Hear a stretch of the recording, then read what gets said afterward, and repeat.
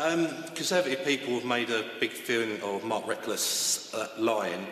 The day before Kelly Tolhurst was announced as a candidate, I actually spoke to her on the phone, and she did say to me she'd just come out of hospital and that she'd not applied to be the candidate for Conservatives and said she had no interest and all she wanted to do was work, work across the West.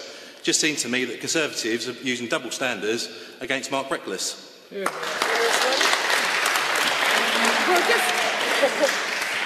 Can I I- just respond yeah, to that? Yeah, yeah.